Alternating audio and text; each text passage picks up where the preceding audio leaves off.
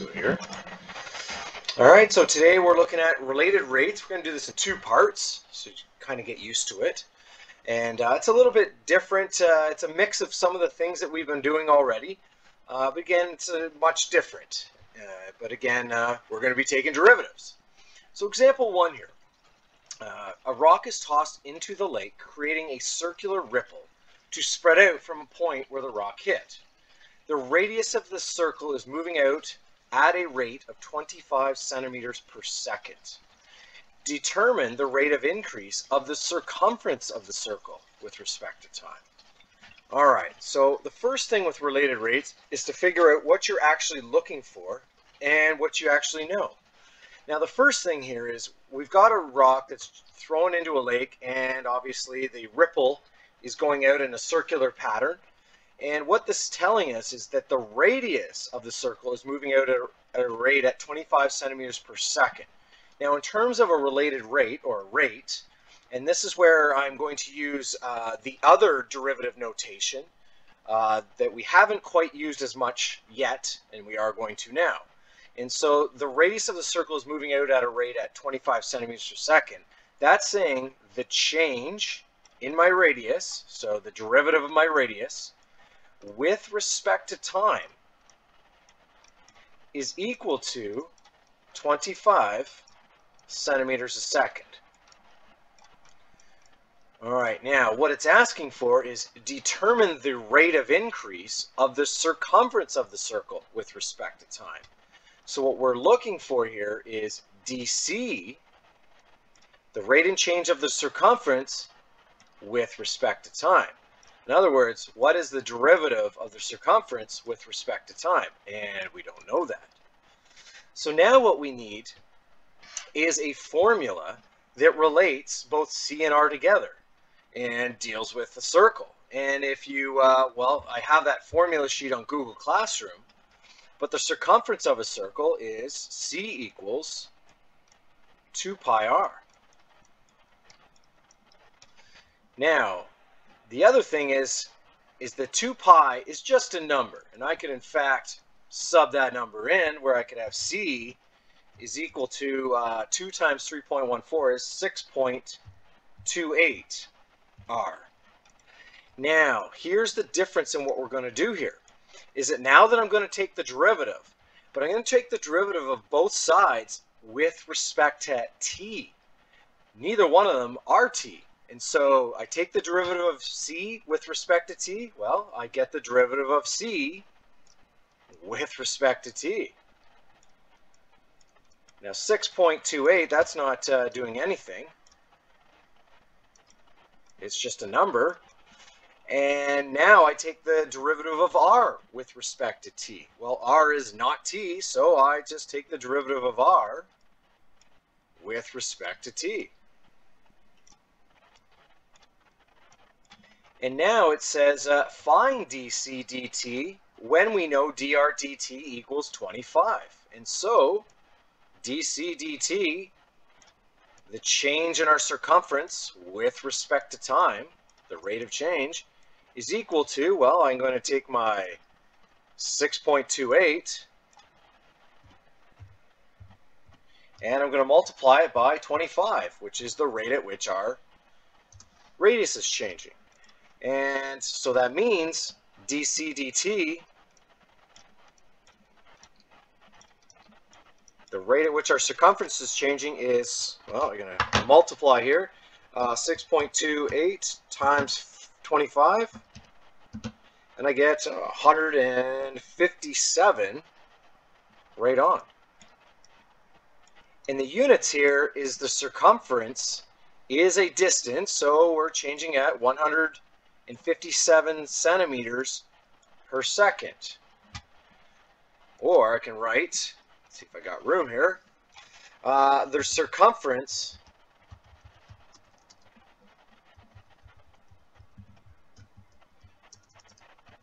is increasing because it's a positive number at a rate of 157 centimeters per second.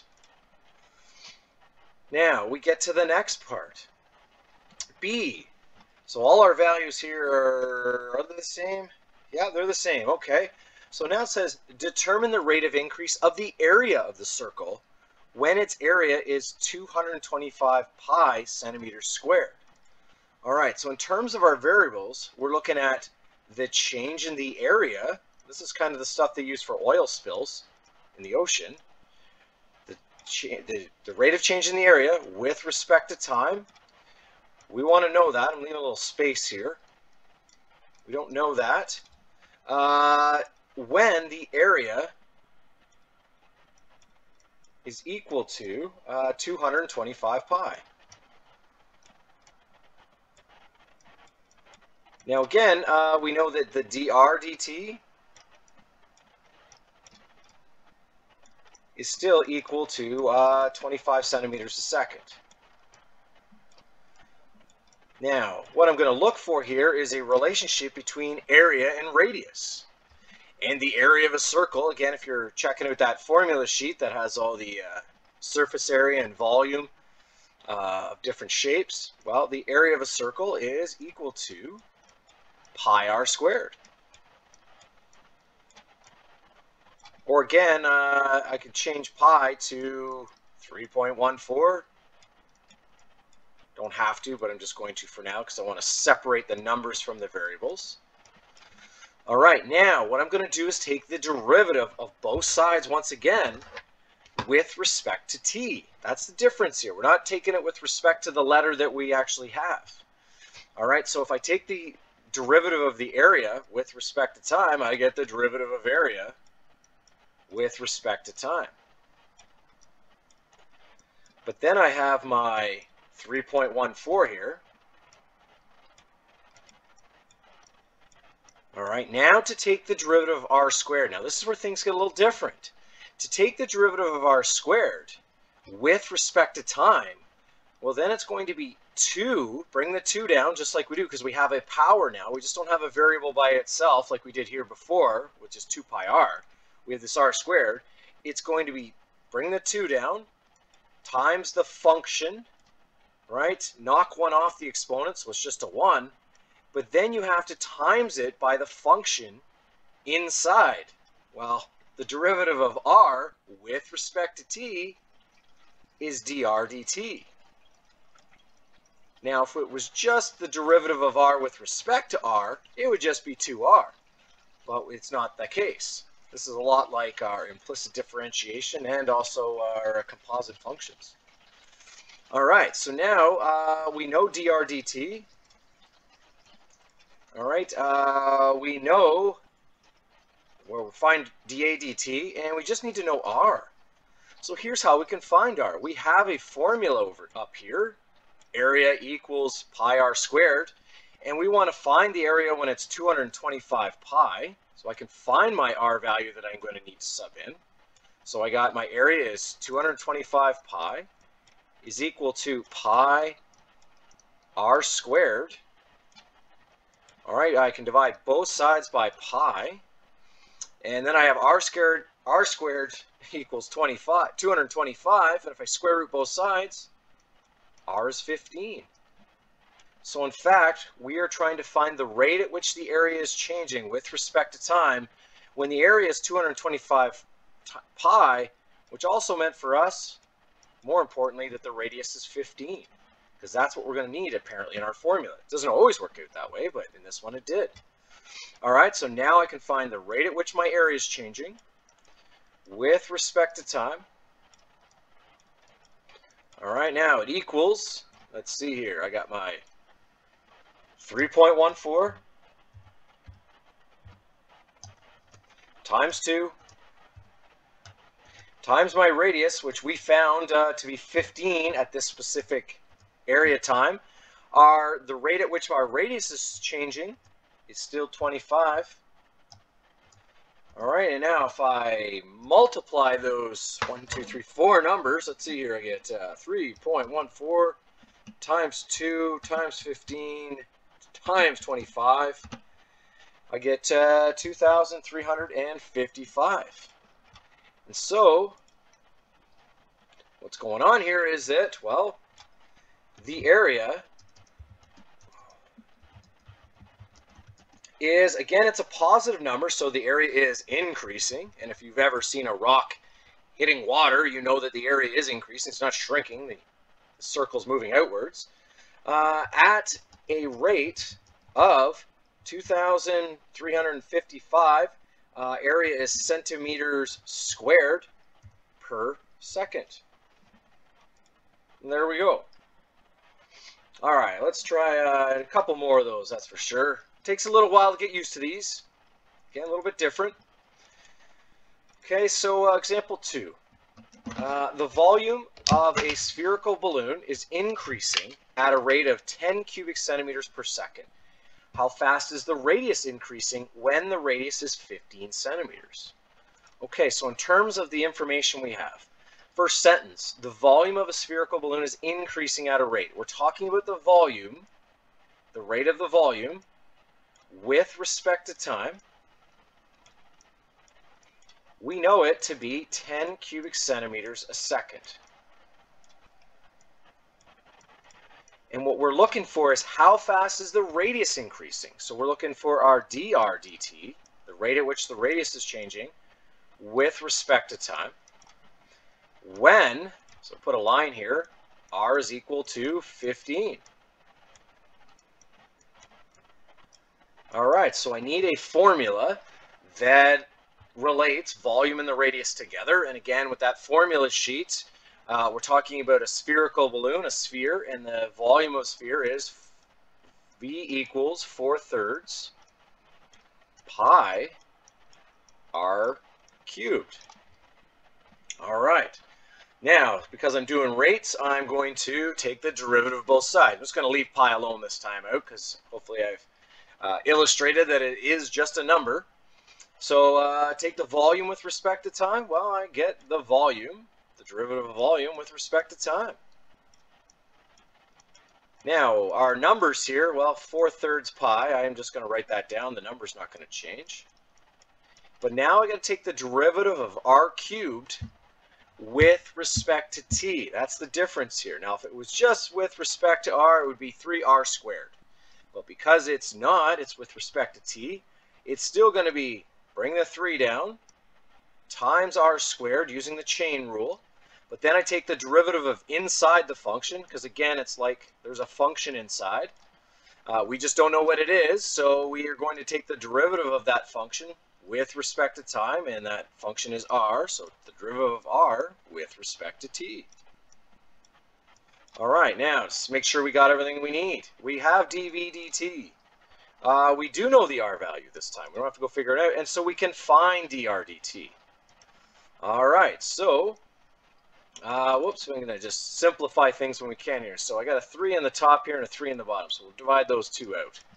There we go. All right, so now to substitute in, well, your dv dt is 10 equals, uh, I got 4 times pi, let's put that in there, uh, times r squared there, and I found out r was, or I didn't find out, it told me that r was 15, r squared, and we are looking for our dr dt.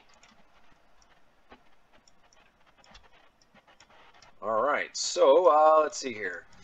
Uh, just going to simplify things here. Uh, take, well, you know what? I'm just going to divide both sides here by 4 pi. 15 squared, by the way, is 225, so might as well put that in there. All right, what I do to one side, I do to the other. So I got 4 pi times that 225. So we're going to get a really small number here. And in fact, uh, I take 10, I divide it by 4 pi, then I divide it by 225, and I would find out that our radius is changing at a rate of 0 uh, 0.0035. Our units are centimeters, and our times in seconds. And so uh, again, the in this case, uh, the radius is, again, it's a positive number. Hope I have the negative one in here somewhere. Increasing uh, at a rate of 0.0035 centimeters per second. And there we go. All right, now we're going to step it up here and get a little more complicated. All right, so here we go. Uh, two cars uh, approach a right-angled intersection, one traveling south at 40 kilometers an hour and the other west at 70 kilometers an hour. Uh, when the faster car is 4 kilometers from the intersection, the other car is 3 kilometers from the intersection. How fast is the distance uh, between the two cars changing? Okay, so first thing is I'm going to try to draw a diagram here. So two cars are approaching a right-angled intersection. All right, so I'm going to create an intersection here. Uh, one's traveling, where are we going here? South, one's traveling west. All right, so I'm going to put a dot here, and uh, there's my intersection. I guess I'll put a big eye there. All right, now, one is traveling south, so uh, I'll have this person right here traveling south. Put a little arrow, and they're going uh, 40 kilometers an hour.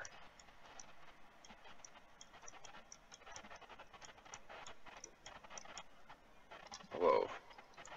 40 kilometers an hour. Not easy to write small. All right, and the other is traveling west at 70 kilometers an hour. There we go. So this person is going 70 kilometers an hour. All right, and uh, now we have a distance between them. So at this, there's a dot here wherever this person is, and over to here. That's where this person is. Now it says when the faster car is four kilometers from the intersection. Okay, so right here we have a four kilometers. And the other car is three kilometers away from the intersection.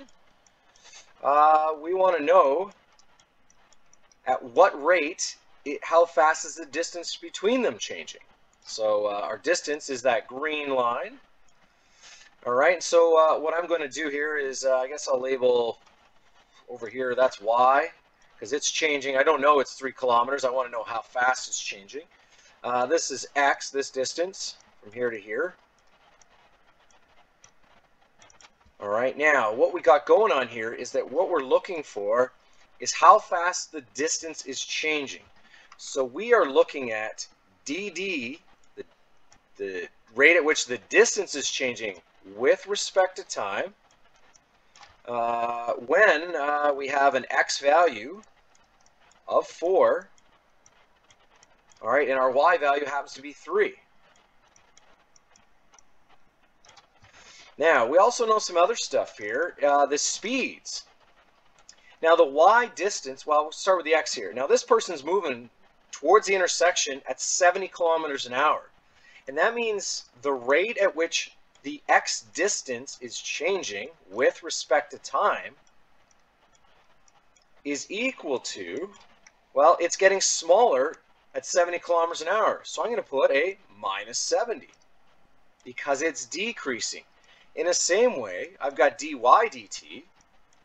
The other person's uh, driving, what's it, skating, driving at the intersection of 40 kilometers an hour. And again, because it's driving towards the intersection, it's going to be minus 40 because that distance is decreasing. And so I've got three variables here. I've got this y distance is changing constantly, this x distance is changing constantly, uh, which means that d is changing. Now I'm going to come up with a relationship between d, x, and y. And that relationship, well, I'm going to use the old Pythagorean theorem, where I have d squared is equal to x squared uh, plus y squared. Now again, that is the Pythagorean theorem.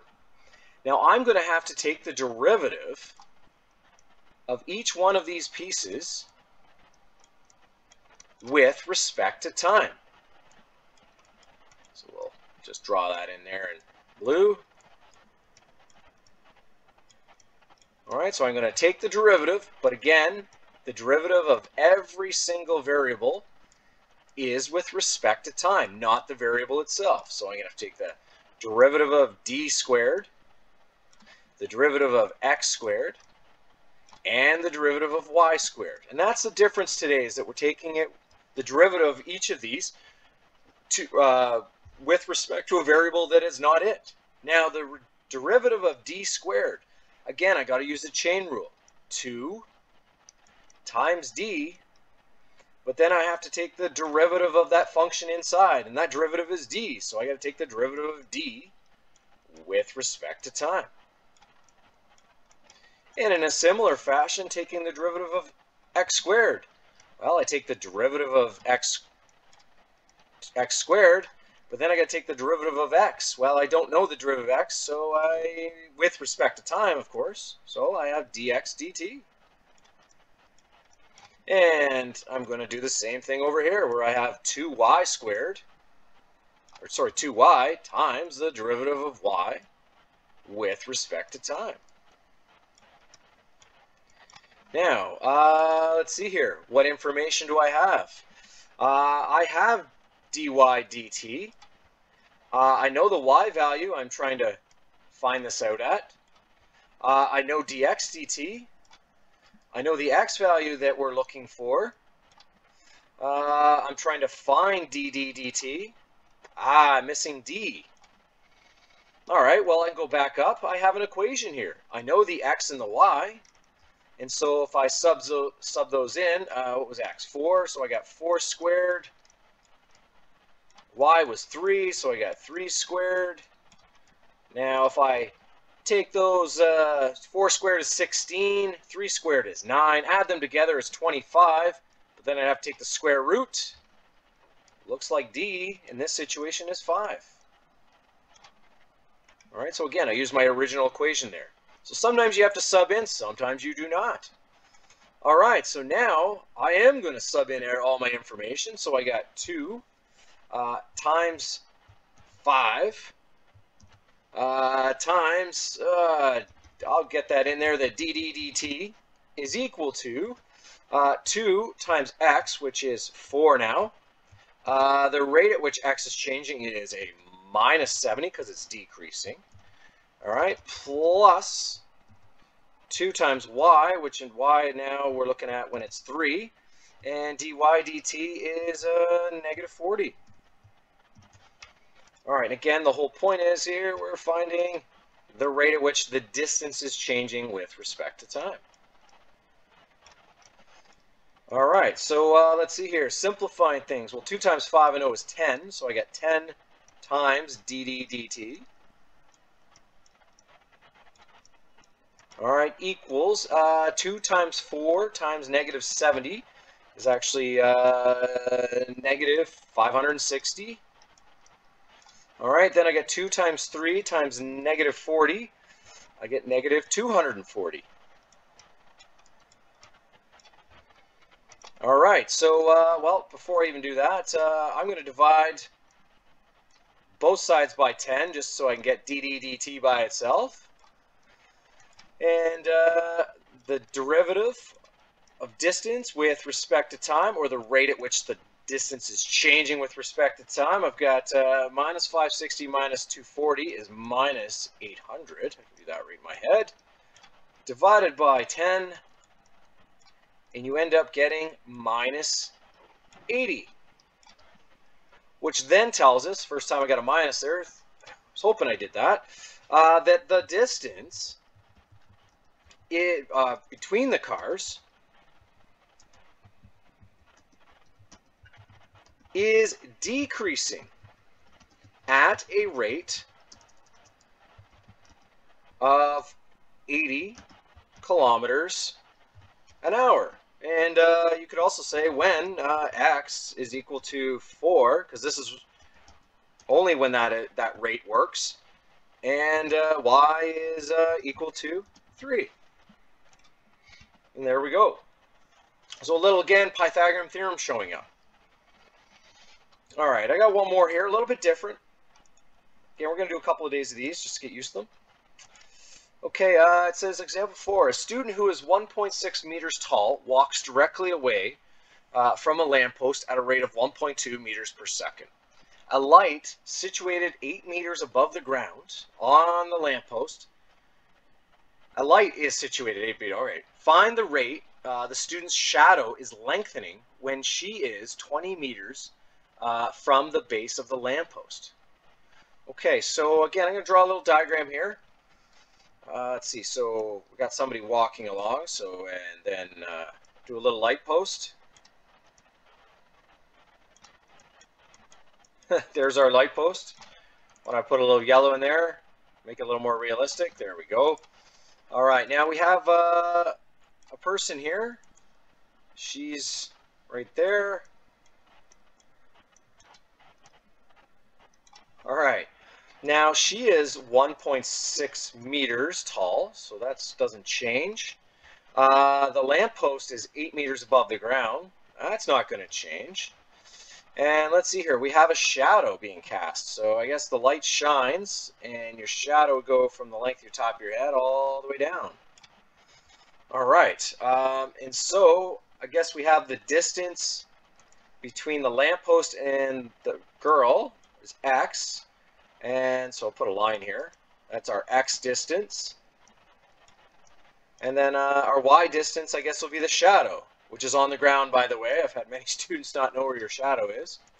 It's not on the wall. I guess it could be on the wall, but in this situation, there's no wall around. It's on the ground. All right, so what we want to know is, let's see here.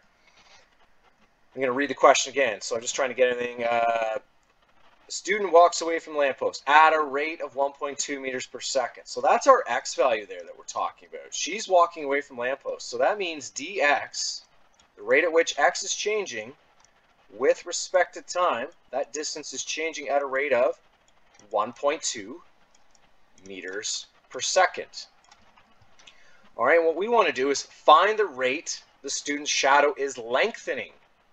So we're talking about y here, her shadow. We want to know dy dt, the rate at which the shadow is changing, uh, when she is 20 meters from the lamppost. So that's talking about our x value. So that's when x is equal to 20.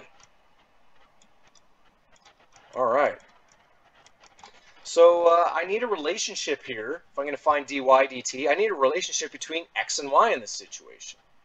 And what I'm going to use is similar triangles because, well, they have this common angle right here. Uh, they have this common 90 degree angle. They're both standing upright, which means uh, these angles are equal. So we can use similar triangles. All the angles are equal. All right, now to use similar triangles, uh, the small triangle, I'm going to take this 1.6 side and divide it by the bottom of the triangle, which is our y. And that's going to be equal to, because matching side ratios are equal in similar triangles, and so I'll look at the height of the lamppost and compare it to the height of the person. Well, it's 8. But then I have the length around the bottom of the triangle. So the bottom of the smaller triangle is y, but the bottom of the bigger triangle is x and y, or math terms, x plus y. And again, this is using similar uh, triangles. That's how I come up with that relationship. All right, so I didn't have to use my formula sheet for once. Uh, now, before I take the derivative of either side, what I'm going to do here is, well, I have a fraction equaling a fraction, so I'm going to cross multiply to simplify things first. So I'm going to have a 1.6 times x, uh, then I have the 1.6 uh, times y. Has to multiply both of them. And on the other side, I'm going to have y times 8, or 8 times y. All right, uh, well, I can further simplify because I'm going to drag this 1.6 over to the other side so it becomes negative. All right, so I'm going to have a 1.6x on this side, and then over on that other side, I'll have 8y minus a 1.6y, which gives me a 6.4y. All right, uh, I guess I could divide both sides, but I, does 6.4 get divided by, ah, let's leave it. I'm just going to leave it. All right, so now I'm ready. I'm going to take the derivative of both sides with respect to t. Now again, the 1.6 ain't going to change. Uh, I take the derivative of x with respect to t. Well, that's just the derivative of x with respect to t. All right, same thing on the other side. The number doesn't, not going to change any. Uh, but then I take the derivative of y with respect to t. Well, that's just the derivative of y with respect to t. No chain, chain rule involved because our exponent's just a 1. All right, now, uh, I know a dx dt, right? Uh, I want the dy dt. Perfect, I got everything I need. All right, so I'm going to substitute in now. So I got, uh, let's see here, 1.6 times dx dt, which I now know is 1.2. And uh, I have a 6.4 uh, times our dy dt.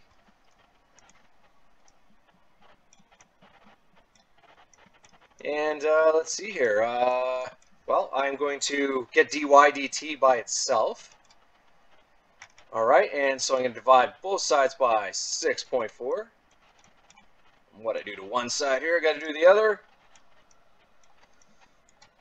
All right, so those 6.4s divide each other out. And then dy dt is going to equal 1.6 times 1.2 uh, divided by 6.4. And I end up with uh, 0 0.3. All right, so what uh, does, we're talking about meters per second here. And so that means we're talking about the shadow lengthening, which it is, because they're walking farther away, it looks like. And so the shadow, whoops, I need some small writing here. The shadow uh, is lengthening uh, at a rate of 0.3 meters per second uh, when uh, when x is 20 meters, which I'm going to get to actually. And there we go. Now, something about this x equals 20 meters. Notice that I wanted to find dy dt when x equals 20. But it, when it came down to substituting our values in, I never used that x. And the reason for that is because it doesn't matter how far this uh, girl is from the lamppost. The rate at which her shadow is lengthening doesn't depend on how far away she is. Doesn't matter. It doesn't depend on that. So if she's 40 meters away, 20 meters away, 30 meters away, given this situation, the rate at which her shadow is lengthening will be the same, no matter how far away she's from the lamppost. That's what that's telling us. So sometimes you have to sub a value in. In this case, you had uh, not sub a value in, and sometimes you have to, in a lot of, or a couple of our examples, you had to find another value using your original equation to sub in. So there's a bunch of different um, situations you can have there.